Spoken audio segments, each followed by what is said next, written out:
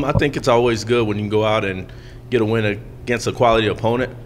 They had them picked um, third in the conference, so we knew they were going to come in and try to out tough us. And you know, when everything's not clicking, you just have to find a way to win. Sometimes will yourself um, to your destiny, if you uh, if you will. So I think that was big for us. Just kind of finding a way coming in, regrouping at halftime, and just making a decision to do whatever we could to win the game. And then looking ahead, big big matchup with CSU Pueblo this weekend. What can you tell me about that matchup? Uh, it, it, it's always a big one for us because it's the next one. So I think uh, we play we play Mesa every week in some form or entity because it's always about us. Um, you know, they have a, a well-established program. Uh, Coach Wristen's done a great job there. They play a physical brand of football. So uh, I think we'll have to be clicking on all cylinders and uh, match their physicality, but excited to get to Pueblo and the Thunder Bowl and uh, see where the chips fall. And Torren, for you and the defensive line, what's uh, you guys have had a really unique group this year, and you guys have done a really good job these first three games. What's kind of been the, the biggest thing for you guys that, that you've been able to do these first three games that's really carried the, that unit of the defense? Uh, I really think it's something that just starts in practice every day. We know that uh, every day in practice that we have to get put something in the piggy bank uh, to hang our hat on for the end of the week. That we, we know that we're prepared. Uh, so I really just think it starts in practice and the way that we practice and how we carry each other uh, through practice. Questions? So, Jordan, obviously, the way you guys, you want to be physical and you've got to get to the quarterback, you've got to get a good rush because you do play so many teams that throw the ball. Mhm. And now Pueblo in the past has been a really run heavy. It looks like they're a little more 50-50 this year. Mhm. What's the key to knowing, okay, when to rush, when to stop the run? Mhm. Uh, I think it's really just going to come down to technique. Every day in practice, we do uh, a bunch of drills that gives us the opportunity to recognize different blocks. So different blocks is going to tell us what type of uh, play it's going to be, whether it's going to be run or pass. And whenever it's pass, it's time to go. And whenever it's run, we have to stop the run. Would rather play a running team or a passing team? Passing. Passing. And why, why, you, you want to, you want to get the, more of a rush guy, or? Mm-hmm. Sacks is where the money is made on defensive line. You can stop the run. Stopping the run is our number one priority, but sacks is where the money is made. Coach, you've seen these guys at home now, on the road. Does the road and the home win help now heading into another trip? Obviously, this one's not as long, but Um, I think anytime you go on the road, uh, your routine changes a little, and that, that's where maturity comes in. Um, I think we have a well experienced group. So, as far as traveling, they've done a, a great job of traveling and staying the course. Um, so, home or away, I think the product is the product, and the main thing is the main thing. When they spot the ball, the mask got to go. Because we talked to some of the, guys last week, that Chadron's got the ball on the twenty-four yard line, first down, and, and they're like, hey, wherever they, you know, wherever they line up is where they line up, it doesn't matter. How have you kind of gotten these guys to buy into that idea, it doesn't matter where they are, you gotta stop it? Um, I think um, from the moment we stepped on campus, we made an emphasis on defense. You could spot the ball on the half yard line or in the parking lot. When it's 11 people out there and they got a football on it, then we got to line up play defense. And that's kind of the, the 212 way. Doesn't matter where the ball is, what the score is, it's us versus them. And it's just kind of, it started in when we got here off season, got a season on our belt. So now it's just kind of the culture. So we get on the bus to play defense. So defense will play. Yeah, and I know early, uh, the last two weeks, you've given up yards. You know, Highlands, everybody gave up points, but you don't give up a lot of points. Are, are you okay with, with that as long as you keep them out, or you want, Um, we're gonna get greedy now and, I wouldn't call it greedy. I think for us, uh, we always want to be the aggressor. So, in football terms, we don't like to bend, as they're saying, bend but don't break. That's not how we play um, defense here at Mesa. Where we always want to attack. So, whether it's points or yards, uh, I think there's always a goal to improve upon. So, limiting scores and kind of getting that yardage total down has been a big emphasis.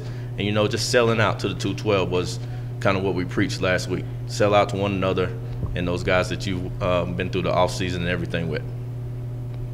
Coach, you mentioned, mentioned matching physicality. Can you talk about how nasty they are? I, know that's a kind of a mean team, but you guys have a pretty mean D line too. Uh, you, you guys form the ball pretty good. What, what, does that mean to you, matching physicality? Um, I think anytime you you go into a big game, it's going to be come down to the team that controls the line of scrimmage, um, offense and defensive line. So when I speak about physicality, it's not just necessarily their offensive line. They got a pretty nasty defensive line as well.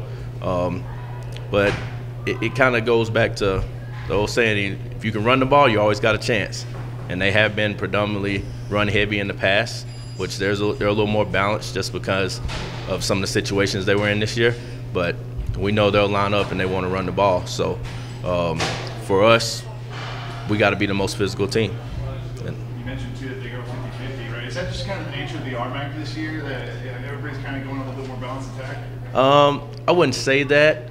Um, I would say it's kind of, you know, they started out with two uh, two heavyweight fights uh, early on, so you know, and they got in some situations in those games and kind of had to dig themselves out of some holes, which they did. Um, I think they have two quarterbacks that could that they can play. They can both play. If we're being honest. Um, so they, they have some options there, and one is more of a pass first guy. The other one's a run first guy. So that that's kind of what it comes down to for them. Right, you as a player, Coach mentioned it's always against the Mesa Mavericks, but this is a rivalry game that we're talking about too. Is there a different mm-hmm. feeling in the locker room for you guys? I think it is for some, but I also think that we have a lot of transfers, so we've kind of had to uh, learn what it is to play teams like Pueblo uh, and what that means for the program. But I do think that we know that uh, it is a, a, big game, not because it's Pueblo, but it is the next game uh, on our path towards what we uh, deem as our destiny. So I think it's different. I think that we're ready to work and put in the work this week to do what we need to do on Saturday. Kind of a similar question to that. You mentioned, you know, it's working every day in practice. is kind of what you guys pride yourselves on. Mm-hmm. And the depth this year has kind of been like a recurring headline, I guess we call it. Does that help you guys in practice? Uh, I mean, I don't know if it necessarily helps us because we, when it's time to go, we go. So, I mean, I guess it's a little bit of break, but I, I think it definitely helps on Saturdays. Practice, I'm, I'm not too sure it helps us. they don't let you go on and just kind of rest a little bit, do they? Just kind of keep you working?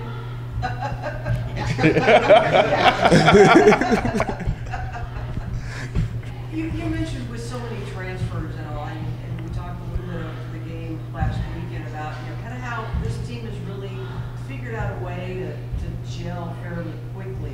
Mm-hmm. But you are kind of learning about rivalries and, and what some of the history of the program is, and, and for a lot of the, the coaching staff is too, because most of these teams didn't play last year. Right is there somebody that, that kind of teaches you that, or you, everybody just kind of goes in and everybody's going to be a rival from here on out?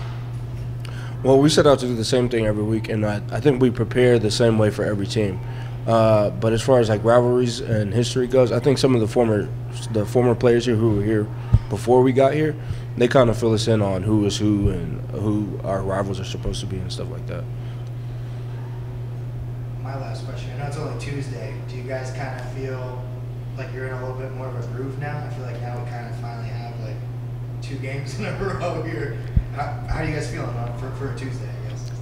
short version. Um, I think for us as coaches and I'd venture to say for them as players, uh, getting in that routine is probably the that's when teams start to hit their groove in the season. You know, playing week one, then being off for 16 days, then coming back, it felt a lot longer than it was. So now we're getting an opportunity to kind of get in that groove, and we know what to expect. So I think by us knowing what to expect, and they know on Tuesdays we're going to work. So practice day, we're going to work. Wednesday we'll go full pads. They kind of got the routine. So I think I venture to say, come uh, the weekend, we'll be ready to go. Coach, you also mentioned halftime adjustments. That was kind of the theme for the Highlands game too. Can you talk? Obviously, you guys come away pay cut is huge in, in this second half of this game. Can you talk about the halftime adjustments you guys are making? Um, I think for the most part, it's trusting one another because we, we have coaches in the box, and what we're seeing on the field is a little different at times. And you don't want to necessarily make um, wholesale adjustments on the sideline because it's a lot of chaos. So actually getting them off the field away from everyone, we can make the um, necessary adjustments and get them to understand exactly what we're trying to accomplish with that. And I think that's something that we've also had to do in practice, so it's carried over well with um, Coach Brown's offense, who they stretch you horizontally and vertically, so you have to make some uh, some adjustments in practice. So. So Tor, about those halftime adjustments, when you, you do get in the locker room, is it one of those things where, okay, we're getting beat in this area, we're not doing what we want? Can you kind of see as you're going into the locker room, coach is gonna be talking about this and this and what we need to do? Uh, I think sometimes we can tell on the field, but again, it's hard because you're just doing uh, your job. It's 11 guys that are trying to do their job. So, I mean, obviously, you know, if you mess up on your own job, that's going to be something that's going to have to be adjusted. But uh, going into the locker room, uh, I think it just gives us a better idea because the coach that is coming in is coming from the box, so he's seeing a lot more than we can see, and uh, he can make those adjustments, those adjustments um, that are necessary. Sometimes it's just a matter of reminding them, hmm this, this is what we talked about, and we forgot from Friday to Saturday. Yeah. All right, questions of the week. All right, this or that. So try to answer as quickly as possible. Don't think about it too much. Halloween or Christmas? That. Christmas. My bad. My bad. I thought I thought Halloween was this. My bad. All I heard was answer as quickly as possible. French fries or onion rings? French fries, Fries. Chocolate or vanilla? chocolate, Vanilla. Do you have a messy locker or a tidy locker? tidy. Tidy. Okay, and then last one. Would you rather have an intense pain for 10 minutes or a dull pain for one day? Intense pain for ten minutes. Intense for 10.